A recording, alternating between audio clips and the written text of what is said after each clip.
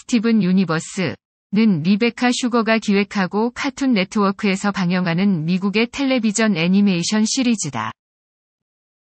프로그램은 가상의 도시 비치시티에서 펄, 가넷, 에머시스트로 구성된 3명의 마법적인 인간형 외계인, 크리스탈 젬과 함께 살고 있는 스티븐 유니버스의 성장기를 그려내고 있다. 스티븐은 하프젬으로 친구들과 모험을 떠나거나 젬들이 같은 부류의 종들로부터 세계를 보호하는 것을 돕는다. 슈거는 시리즈를 어드벤처 타임의 작가와 스토리보드 아티스트로 뛰고 있을 때 개발해왔다. 그리고 카툰 네트워크 시리즈 사상 최초로 여성이 기획한 이 애니메이션은 2013년 11월 4일 초연된다. 애니메이션은 아트 디자인, 음악, 성우 연기, 성격 묘사, 과학 판타지 세계관에 있어 극찬을 받았으며 넓고 활동적인 팬덤을 만들어낸다. 두 개의 에미상과 다섯 개의 애니상의 후보로 올랐으며 시리즈를 기반으로 한 책, 만화, 비디오 게임 또한 출시되었다.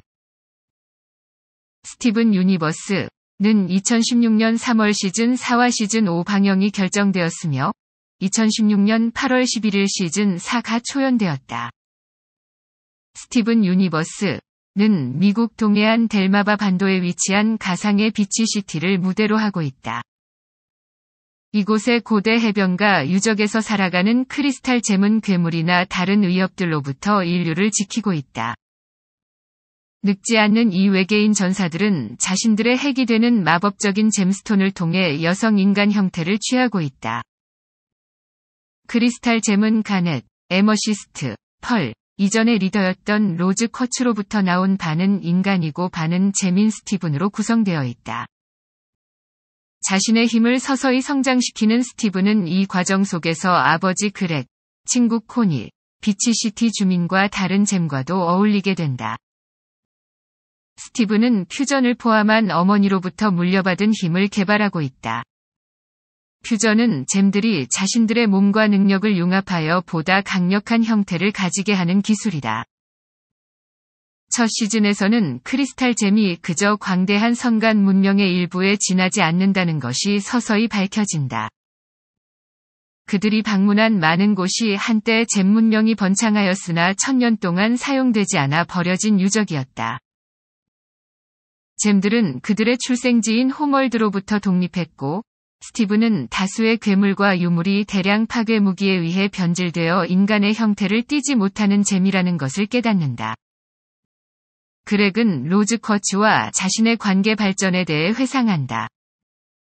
첫 시즌의 마지막에서 스티븐은 홈월드의 젬들이 지구에 새로운 젬을 배양하기 위해 살균하려는 것을 알게 된다.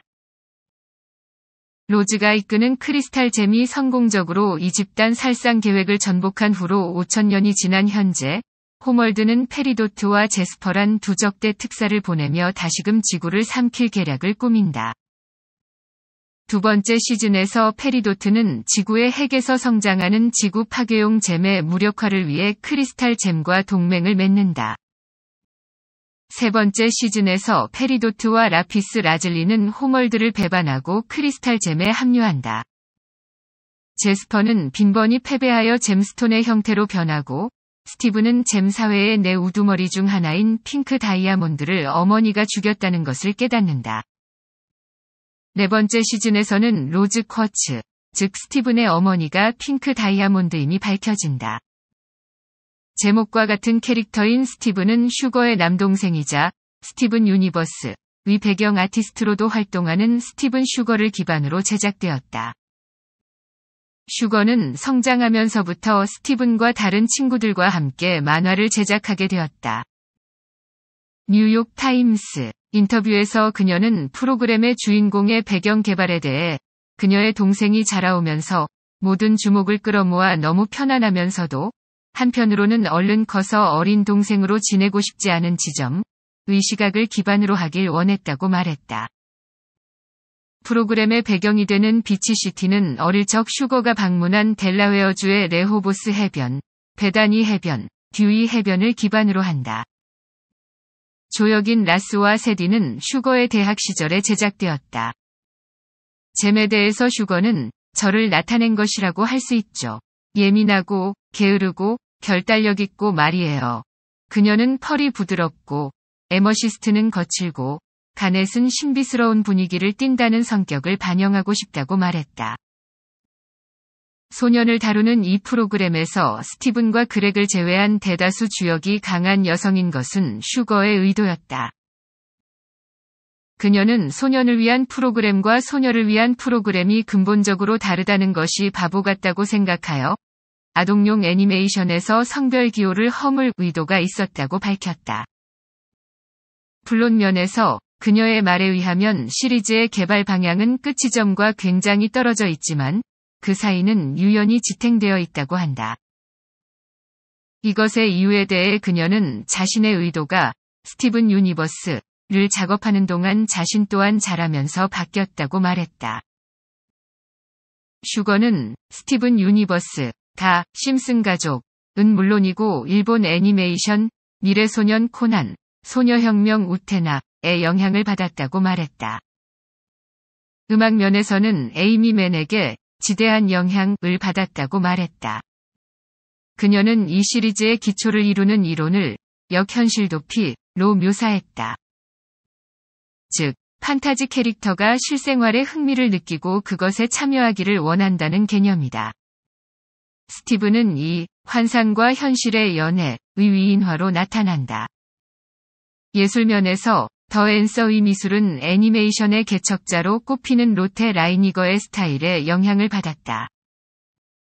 잭 캘리슨 에스텔 디디 매그노 애니메이션 시리즈와 영화에 여러 번 출연한 경력이 있는 19세 미국 배우 잭 캘리슨은 스티븐 역을 맡게 되었다. 이는 텔레비전에서 그의 첫 주역이다. 크리스탈 젬의 리더 가넷은 영국의 싱어송라이터이자 배우인 에스텔이 맡았다. 그녀는 카툰 네트워크의 제1호 역을 맡게 되었는데 이는 그녀의 첫 성우 작품이다. 배우 미케일라 디츠와 배우이자 더 파티의 가수 디디 매그노는 에머시스트와 펄 역을 맡았으며 또한 그들의 첫 애니메이션 작업이다. 희극인이자 작가인 톰 샤플링은 스티븐의 아버지 그렉을 맡았다. 그레이스 로렉은 스티븐의 친구 코니 역을 맡았다. 에피소드 아일랜드 어드벤처에 쓰인 스토리보드의 일부. 스토리보드 아티스트는 작가로도 활동하고 있다. 슈거의 말에 의하면 스티븐 유니버스는 그녀가 어드벤처 타임에서 일하고 있을 때부터 제작되었다고 한다. 그녀가 참여한 마지막 에피소드는 시몬 앰퍼샌드 마시였다.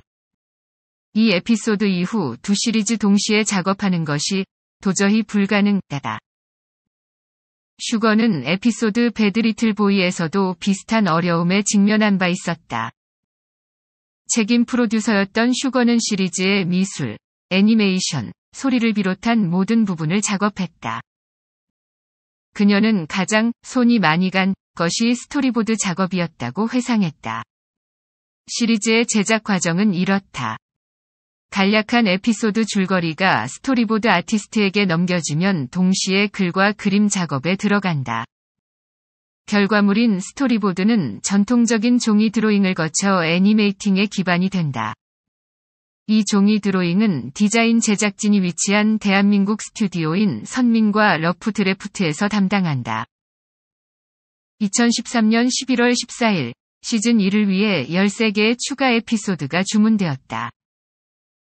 2014년 7월 25일 시즌 2 방영이 결정되어 2015년 3월 13일 방영에 들어갔다. 2015년 7월 시즌 3 방영이 결정되었으며 2016년 3월 시즌 5 방영이 결정되었다. 스티븐 유니버스에는 슈거와 줄거리 편집자가 쓴 여러 곡들이 존재한다. 슈거의 말에 의하면 모든 에피소드에 이런 곡이 존재하지는 않다고 한다. 그녀는 창의성을 강요하는 것을 피하기 위해 가끔씩만 사용하기로 결정했다. 배경에 깔리는 부수적인 곡들은 chiptune, 피아노 듀오 아이비 앰퍼샌드 수라슈와 기타 연주자 스테마지에 의해 제작된다. 음악에서는 팝 아티스트 마이클 잭슨이나 에스텔 본인의 영향이 크다. 프로그램은 반복되는 사운드 트랙에 크게 기대고 있기도 한데, 예를 들어 펄은 피아노 연주를, 가넷은 synth 베이스를, 에머시스트는 전자 베이스, 신시사이저, 전자 드럼을 동반한다. 이 부분의 본문은 스티븐 유니버스의 에피소드 목록입니다.